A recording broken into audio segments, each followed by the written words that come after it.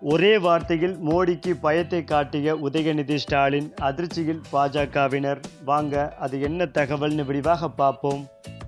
அதாவது கடந்த சில நாட்களுக்கு முன்பு உதயநிதி பேசிய பேச்சு மிகப்பெரிய சர்ச்சைகளை ஏற்படுத்தி வருகிறது. இது இந்தியா முழுவதும் பரபரப்பாக பேசப்பட்டு வருகிறது.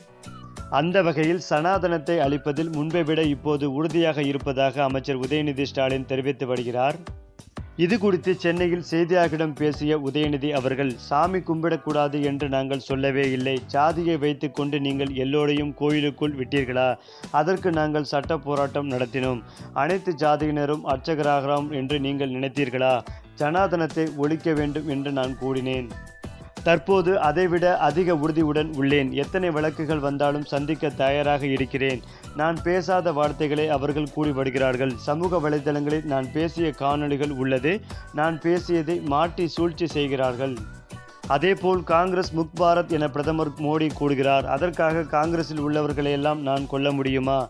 அவர்கள் அந்த கொள்கையைத்தான் எதிர்க்கிறார்கள். அது இனப்படுகொலை என்றால் நான் பேசியதும் இனப்படுகொலைதான். மேலும் சனாதனம் என்பது நிலையானது மாற்ற முடியாது என்று அவர்கள் கூறுகிறார்கள். ஒரு காலத்தில் பெண்கள் படிக்கக்கூடாது வீட்டை விட்டு வெளியே வரக்கூடாது என்றார்கள். இப்போது பெண்கள் வீட்டை விட்டு வெளியே வந்து சாதனை படைத்து கொண்டிருக்கிறார்கள். ஒரு காலத்தில் கணவன் இறந்தால் உடன்கட்டை ஏற வேண்டும் என்கிறார்கள். ஆனால் தற்போது கிடையாது அது மாற்றப்பட்டு விட்டது.